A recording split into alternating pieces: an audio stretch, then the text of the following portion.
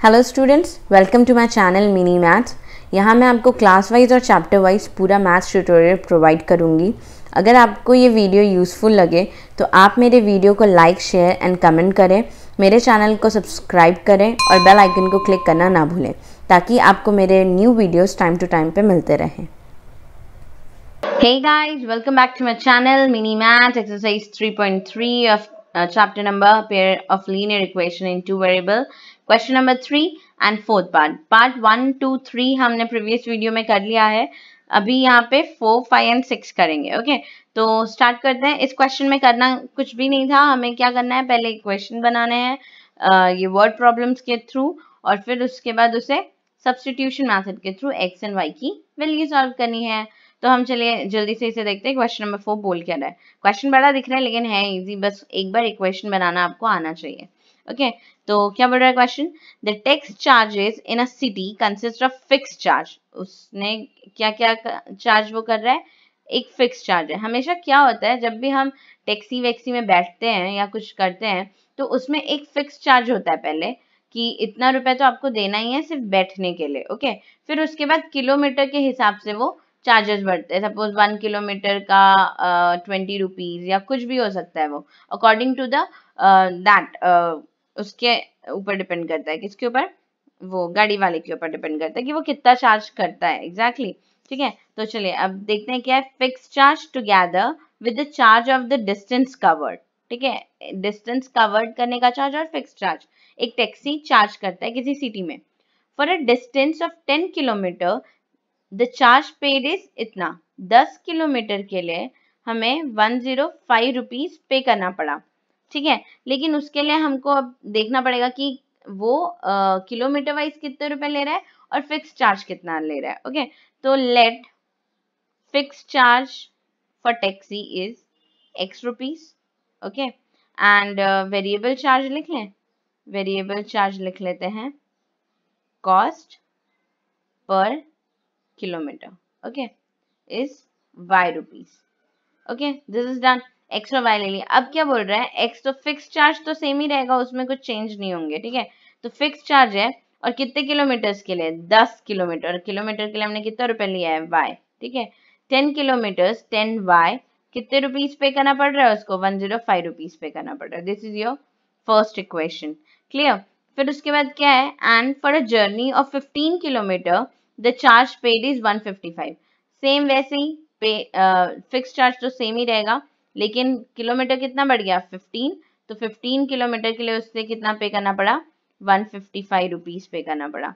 अब हमें दो इक्वेशन मिल चुके हैं। हमें पता है कि इसके आगे हमें क्या करना होता है? तो करना स्टार्ट करते हैं।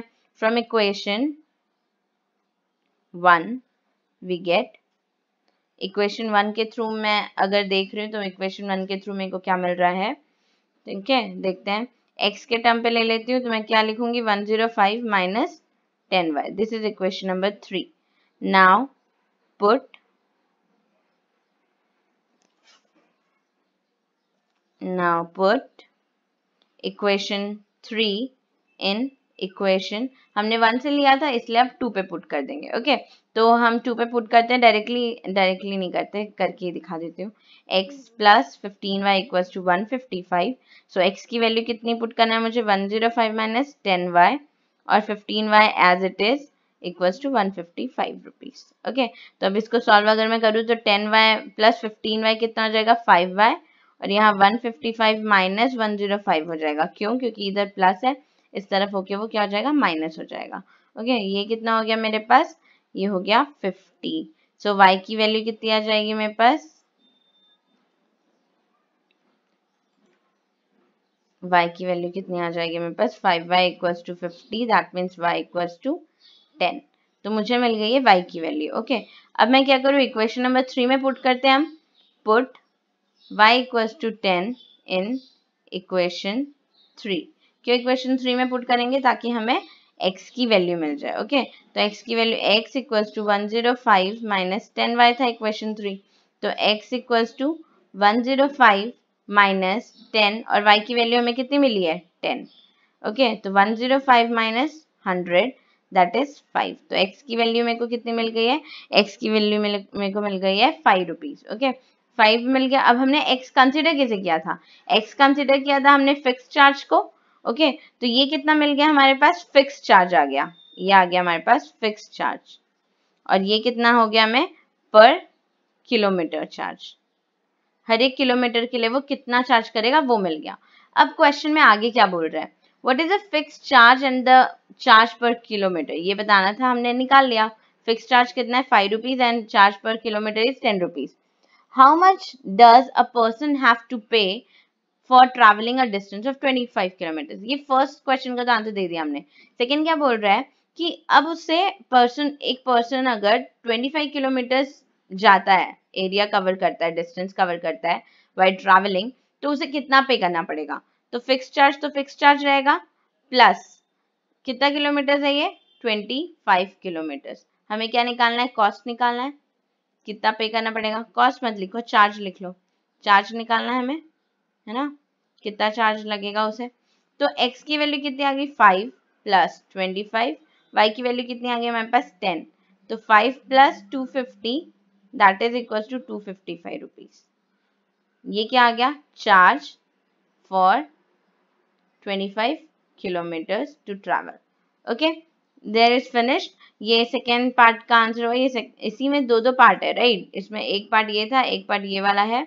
तो ये वाला फिक्स चार्ज और चार्ज पर किलोमीटर निकालना था। हमने निकाल लिया एक्स और वाई की वैल्यू फिर उसके बाद क्या बोला था? Travelling a distance of 25 kilometre तो उसे कितना पे करना पड़ेगा? तो हमने वो भी निकाल लिया। क्या होता है कि अगर हम किसी भी टैक्सी वैक्सी ले रहे हैं या कुछ कर रहे हैं तो हमें अगर चार्ज पे भी करना पड़े तो फिक्स चार्ज तो हमें देना ही पड़ेगा। फिक्स चार्ज देना पड़ेगा ओके प्लस वो भी देना पड़ेगा जितना हम किलोमीटर चले हैं कॉस्ट पर किलोमीटर के अकॉर्डिंगली तो वही हो जाता है हमारा कितना? टोटल कॉस्ट तो वही 25 किलोमीटर्स के लिए ये कितना निकल गया हमारे पास? टोटल निकल गया।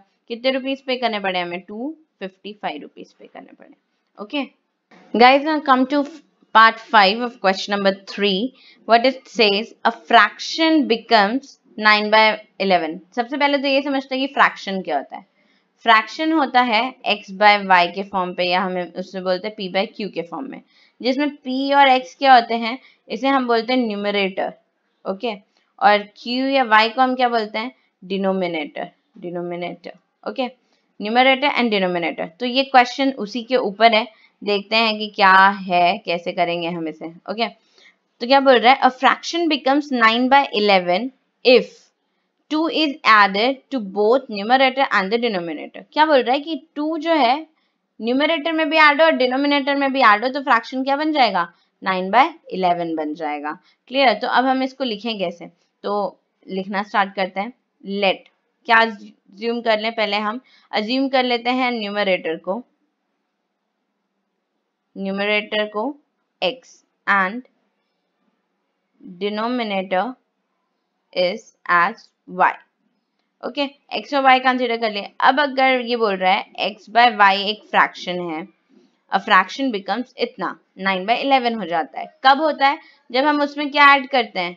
टू ऐड करते हैं। Okay okay? क्या बोला है? If two is added to both numerator and denominator numerator denominator दोनों में ऐड हो रहा है, इसलिए हमने दोनों में ऐड कर दिया। और क्या बन जाता है? ये नाइन बाय इलेवन बन जाता है। इसे अगर मैं सॉल्व करूँ तो क्या करूँगी? इसको इससे मल्टीप्लाई करो, इसको इससे मल्टीप्लाई करो। क्लियर तो ये क्या हो जाएगा? Eleven x plus twenty two equals to हो जाएगा नाइन वाई प्लस 18 अगर मैं इसे सॉल्व करूँ तो 11x x minus nine y equals to eighteen minus twenty two हो जाएगा तो कितना हो जाएगा ये? Minus four this is our first equation according to the first condition अब क्या बोल रहा है? If three is added to both numerator and denominator अब हमारे पास न्यूमरेटर ये है डिनोमिनेटर ये है। इसमें क्या हो रहा है? थ्री एड हो रहा है न्यूमरेटर में भी और डिनोमिनेटर में भी। Denominator it becomes five by six तो वो क्या बन जाता है? फाइव बाय सिक्स बन जाता है। फाइंड द फ्रैक्शन बोल रहा है ओके तो अब इसे भी सॉल्व कर लो। Six x plus eighteen equals to five y plus fifteen चलो कर लेते हैं? Six x minus minus five y equals to minus three this is equation number two ये प्लस एटीन इधर आके माइनस एटीन हो जाएगा तो plus fifteen and minus eighteen is minus three I hope इतना कैलकुलेशन में स्किप कर ही सकती हूँ राइट right? चलो तो आगे देखते हैं। ये क्या हो गया? Six x minus five y equal to minus three ये हो गए दो इक्वेशन अब दो इक्वेशन मिलने के बाद हमारा काम क्या होता है? हमारा काम होता है उसे सब्सटीट्यूट करना। तो हम करना स्टार्ट करते हैं. फ्रॉम इक्वेशन वन ले लो. ओके फ्रॉम इक्वेशन वन हम क्या ले लेते हैं? हम ले लेते हैं, क्या करें हम from equation one eleven x को यहीं पे रखते हैं और क्या लिखे? नाइन वाई माइनस फोर और x इक्वल्स टू क्या हो गया? Nine y minus four upon eleven put it as equation number three now what we have to do put equation three in equation two y in two क्योंकि हमने first से उसे बनाया है तो हम सेकेंड में पुट कर देंगे x की वैल्यू तो सिक्स इंटू एक्स की वैल्यू कितनी है? नाइन वाई माइनस फोर इसे वाई ऐसे लिख देती हूँ कंफ्यूजन नहीं होगा minus five y equal to minus three अब ये वाई वाई के टर्म में तो वाई की वैल्यू निकल जानी चाहिए हमारी, है ना तो nine six fifty four y minus six four जा ट्वेंटी फोर अपॉन इलेवन और यहाँ पे फाइव बाय वन है तो इलेवन एलसीएम लेके इसे भी फिफ्टी फाइव वाई हम लिख सकते हैं। Fifty five y equals to minus three okay ये भी माइनस थ्री हो गया। अब क्या करें? अब इसको सॉल्व करते हैं। प्लस फिफ्टी फोर वाई और माइनस फिफ्टी फाइव वाई तो क्या हो जाएगा? Minus y minus twenty four equals to minus thirty three ये इलेवन उधर जाके मल्टीप्लाई हो जाएगा। तो क्या हुआ? Minus y equals to minus thirty three plus twenty four कितना हो गया ये? Minus y equals to minus कितना मिल जाएगा? Minus nine. So y equals to कितना मिल गया हमें? वाई इक्वल्स टू हमें मिल गया नाइन ओके तो वाई अब नाइन मिल गया तो हम क्या करते हैं? वाई नाइन मिलने के बाद? Put y equals to nine in equation कौन से इक्वेशन से आंसर मिलेगा हमको? इक्वेशन नंबर थ्री से। हमें बस इतना पता होना चाहिए कि हमें करना क्या है। अगर करना क्या है, पता चल गया तो आप किसी भी स्टेप से आंसर लेते आओगे। ओके, जैसे अभी हम y की वैल्यू मिल गई तो y की वैल्यू अगर हमें मिल गई है तो हम अब उसको x में पुट करेंगे, तभी तो हमें x की वैल्यू मिल पाएगी। क्लियर है? इसलिए हम इक्वेशन नंबर थ्री में पुट किए। x equals to nine y minus four upon eleven अब नाइन वाई है तो नाइन की जगह, y की जगह पे नाइन रख दिया हमने। minus 4 upon 11 that is equals to, that is nothing but equals to 81 minus 4 upon 11 that becomes 77 upon 11 and 11 one जा 11 सेवन जा। सो x की वैल्यू कितनी आ गई हमारे पास? सेवन आ गई। एक्स की वैल्यू मिल गई वाई की वैल्यू मिल गई हमें। तो हमें निकालना क्या था? फ्रैक्शन ही निकालना था कि हमारा फ्रैक्शन क्या है? फ्रैक्शन को हमने क्या लिया था? X by y this is numerator and this is denominator तो x हमारा कितना आ गया? सेवन और y कितना आ गया? Nine. So this is your answer this is your answer this is your fraction okay now come to part number six of question number three what it says five year hands. Hands matlab after. After five years. Okay, after five years. अगर कौन कौन है यहाँ पे? The age of Jacob will be three times age his son तो Jacob okay Jacob की age suppose X ले लिया और उसके सन की एज ले लिया मैंने वाई दिस इज़ कंसिडरेशन हम सिर्फ़ कंसिडर कर रहे हैं ओके okay? अब ये प्रेजेंट एज लिया मैंने. X and y is a present age okay अब क्या बोल रहे हैं? After five years after five years अगर मेरी एज टेन है तो पाँच साल के बाद कितनी हो जाएगी? फिफ्टीन हो जाएगी। मतलब हम क्या कर रहे हैं? प्लस कर रहे हैं। इसलिए आफ्टर फाइव ईयर्स भी बोलेगा तो हम उसमें क्या करेंगे? प्लस करेंगे। तो जेकॉब की एज कितनी हो जाएगी after five years x plus five years हो जाएगी और सन की एज कितनी हो जाएगी? वाई प्लस फाइव ईयर्स हो जाएगी।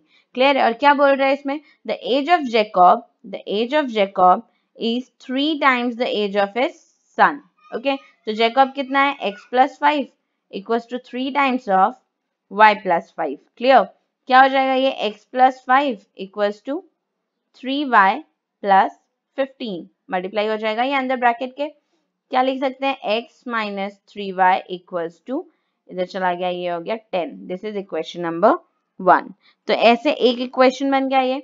अब क्या बोल रहे फाइव ईयर्स अगो अगो बोल रहे दैट मीन्स क्या? अगो बोल रहे दैट मीन्स पीछे चले जाते हैं। प्रेजेंट एज से फाइव ईयर्स पीछे जा रहे हैं हम राइट तो यहाँ पे लिखते हैं five years ago present age से पाँच पीछे। तो जैकब की एज कितनी हो जाएगी? एक्स है प्रेजेंट पाँच पीछे। अब अगर आपकी एज फिफ्टीन ईयर्स है, मैं बोल रही हूँ पाँच साल पीछे चले जाओ। तो पाँच साल पहले आपकी एज कितनी थी? टेन ईयर्स ठीक है? वैसे ही है, इस पे जैकब की एज एक्स ईयर्स है तो फिर फाइव पीछे चले गए। सन की वाई ईयर्स है तो पाँच पीछे चले गए माइनस फाइव कर दिया। क्लियर इतना? अब इससे इक्वेशन बनाएँगे हम। क्या बोल रहे हैं? जेकॉब्स एज वॉज़ जेकॉब की जो एज है, वो क्या है? Seven times of S son age उसके सन के सेवन टाइम्स है। ये एस है। This is S okay seven times है। तो फाइंड द एजेस अब जेकॉब और सन का एज फाइंड आउट करना है। तो पहले अब इस इक्वेशन में पुट कर दे। जेकॉब क्या है? एक्स माइनस फाइव ये फाइव ईयर्स अगो की बात कर रहा है। और seven multiple of y minus five I hope इतना क्लियर होगा सबको. X minus 5 equals y 7y minus 7 5 is 35 okay?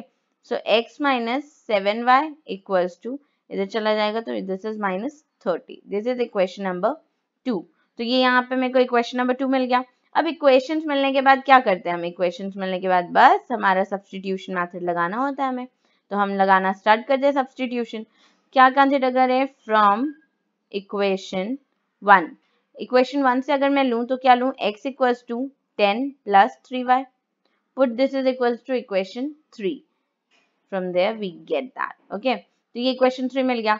Put equation three in two हमने इक्वेशन वन से लिया, इसलिए टू पे पुट कर देंगे।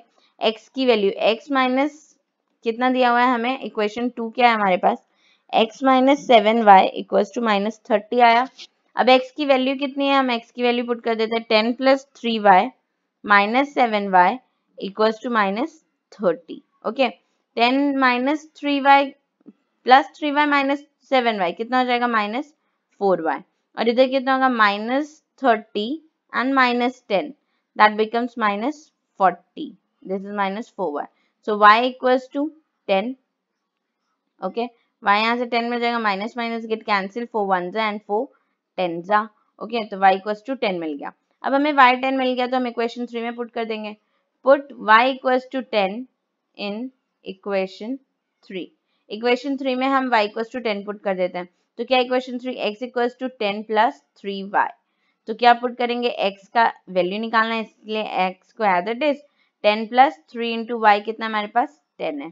तो ten plus thirty that becomes forty x कितना आ गया हमारे पास? फोर्टी आ गया हमारे पास। क्लियर है? तो हमें क्या मिल गया? एक्स कौन था हमारे लिए? एक्स था एक्स कौन था हमारे पास? जेकॉब था और वाई कौन था हमारे पास? वाई इक्वल टू टेन आया। वाई कौन था? जेकॉब का सन था। ओके सो so, यहाँ पे पूछा था उनका एज फाइंड आउट करने के लिए था तो एक्स की वैल्यू हमारे पास फोर्टी ईयर्स आ गई एंड वाई की वैल्यू हमारे पास कितनी आ गई? टेन ईयर्स आ गई। क्लियर है? This is your answer guys यहाँ पे एक्सरसाइज 3.3 खत्म होता है। नेक्स्ट हम अगले वीडियो में 3.4 के बारे में बात करेंगे 3.4 के इंट्रोडक्शन के बारे में बात करेंगे। काफ़ी मैथड्स हैं, जो कि एल्जेब्रिक मैथड्स हैं। अभी सब्सटीट्यूशन पढ़े हैं हमने एक्स और वाई की वैल्यू फाइंड आउट करने के लिए, फिर एलिमिनेशन आएगा क्रॉस मल्टीप्लीकेशन आएगा। तो आप इस चैनल पे बने रहिए, ताकि आपको मेरे वीडियोस मिलते जाएँगे और मैं आपको सारे क्वेश्चंस के सॉल्यूशंस इन वीडियोस में ही देती जाऊँगी। Thank you student same type के क्वेश्चन एग्ज़ाम्पल में भी हैं। आप ट्राई ज़रूर करिए। जितनी ज़्यादा प्रैक्टिस करेंगे, उतना ही आप सबके लिए अच्छा होगा। गाइज़ अगर आपको फुल एक्सरसाइज के सॉल्यूशंस चाहिए तो मैं डिस्क्रिप्शन में उसका लिंक शेयर कर दूँगी। एक्सरसाइज के सारे सोल्यूशन एक्सरसाइज वाइज आपको डिस्क्रिप्शन में मिल जाएँगे। Thank you